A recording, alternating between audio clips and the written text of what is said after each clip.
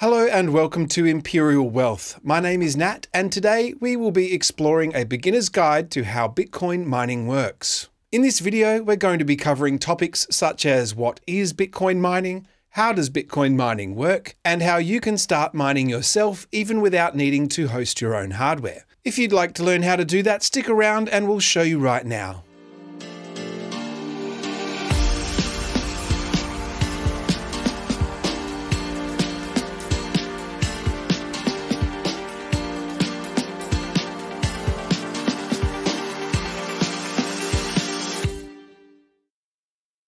So, what is Bitcoin mining?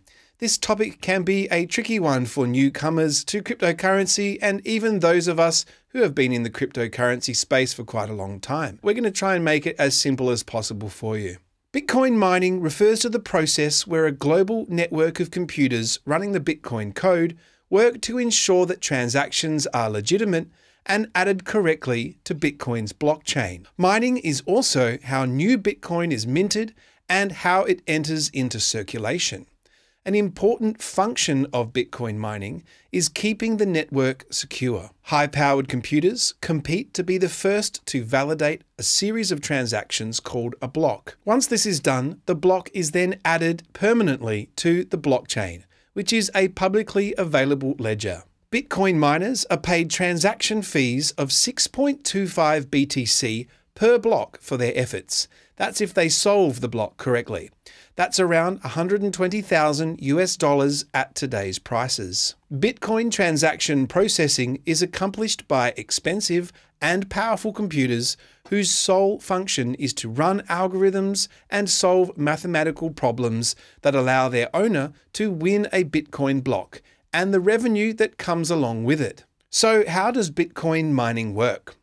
Verifying Bitcoin transactions and recording them on the blockchain involves solving complex algorithms. This is all part of Bitcoin's proof of work consensus mechanism, which aims to add a new block roughly every 10 minutes. The more computing power a miner has, the more likely it is to win blocks. Basically, miners have a chance to earn Bitcoin every 10 minutes based on how much computing power they are willing to use. The very latest Bitcoin mining machines use application specific integrated circuits, known as ASIC miners, specifically programmed for Bitcoin mining to deal with all the computing power needed. Bitcoin is not the only proof of work blockchain that can be mined. There are plenty of other blockchain networks that use the proof of work model, such as Dogecoin, Litecoin, Cardano, and up until recently, the Ethereum blockchain, which has just switched over to a proof of stake model, which is quite different from the proof of work. The current generation of ASIC Bitcoin mining rigs generate possible answers to the Bitcoin block equations at around 100 trillion hashes per second. A Bitcoin hash is a mining measurement of the amount of computing power used on the network to process transactions. So, how can you mine Bitcoin? Since the first Bitcoin block in 2009, the energy required to produce the cryptocurrency has increased as the network raises the mining difficulty to keep the flow of new blocks steady even as more miners get involved.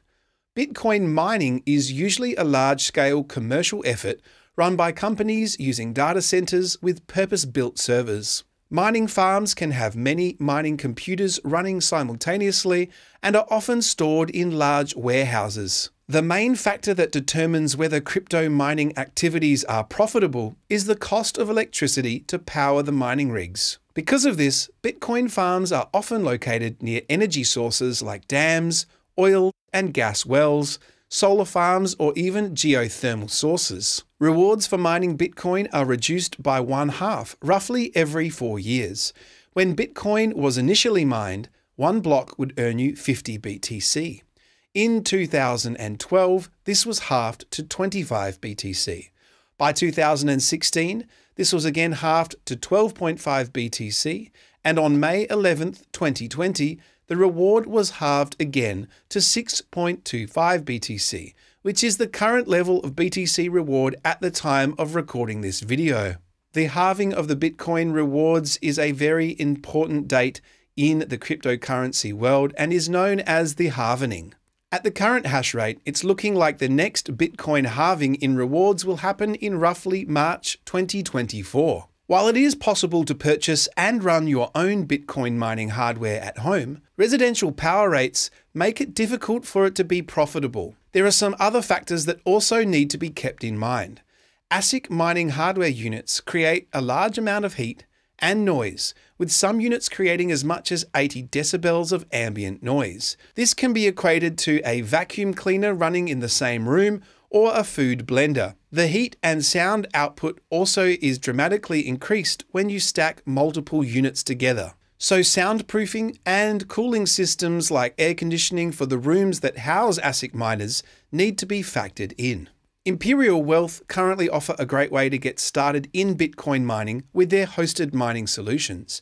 You can purchase your own ASIC miner from Imperial Wealth, and they will house it in their renewable energy facility, providing lower energy rates than you would get in a residential situation. They also maintain the unit and pay out your mining rewards in BTC month to month over the life of the machine, which is typically 5 to 6 years depending on the model. If you're curious about starting your own Bitcoin mining journey, simply book a call with one of the team members at Imperial Wealth and they'll give you all the information you need to get started. You can also browse their website for the current list of available ASIC miners and their daily profitability at today's market prices.